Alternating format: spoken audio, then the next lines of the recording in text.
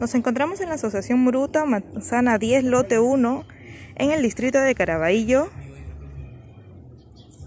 donde agentes especializados de la División de Seguridad del Estado han intervenido una vivienda donde se comercializaba esmaltes de diferentes colores y de diferentes marcas reconocidas como Rebel, Belespa, entre otras.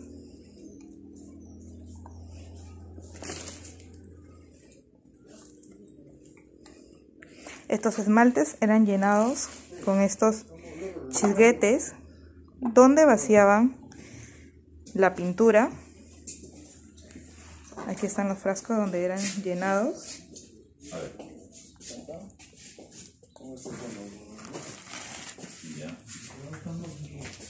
Y así eran puestos a la venta en los diferentes mercados, galerías y tiendas reconocidas.